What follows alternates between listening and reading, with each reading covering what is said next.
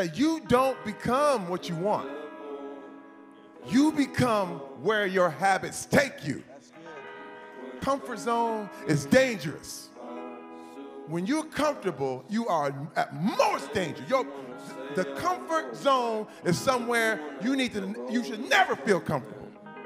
You should be happy and dissatisfied. You ever anybody ever tell you be hey hey look you know what just be satisfied with what you got. Don't believe them. Get them away from you. You should never be satisfied with what you got because the, the attempt to get more makes you into something better all the time. Don't let anybody tell you, hey man, you know, you should just be happy with. Uh, no! You should double your business, triple it.